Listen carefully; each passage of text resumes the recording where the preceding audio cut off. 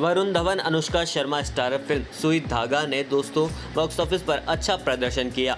लोगों को फ़िल्म की कहानी और इमोशन काफ़ी पसंद आए और फ़िल्म ने काफ़ी अच्छे कलेक्शन के साथ में हिट भी करार दी। और वरुण धवन की एक और हिट स्ट्रिक फ़िल्म इस फ़िल्म से जुड़ गई है। साथ ही अनुष्का की भी फ़िल्म एक और शानदार प्रदर्शन करती हुई दिखाई दे रही है। दोस्तों, आपको बता दें, वरुण और अनुष्का की ये फ़िल्म यशराज प्रोडक्शन के तले बनी थी और वो चाहते थे कि फ़िल्म का कमाई कम से कम सौ करोड़ तो ज़रूर हो, लेकिन फ़िलहाल सौ करोड़ से ये फ़िल्म अब दूर नज़र आ रही है।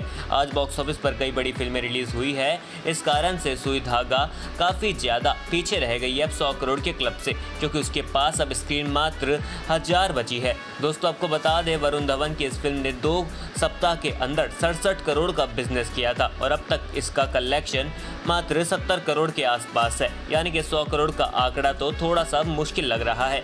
हालाँकि दोस्तों, स्त्री एक ऐसी फ़िल्म थी जिसने इसी तरीके से धीरे धीरे प्रदर्शन करते हुए सौ करोड़ का आंकड़ा पार किया था। तो देखना ये होगा, क्या सुई धागा भी सौ करोड़ के क्लब में जाएगी? मेड इंडिया पर आधारित ये फ़िल्म बॉक्स ऑफ़िस पर हिट तो हो ही चुकी है। अगर सौ करोड़ का क्लब हासिल करती है तो फ़िल्म सुपर हिट भी जा सकती है।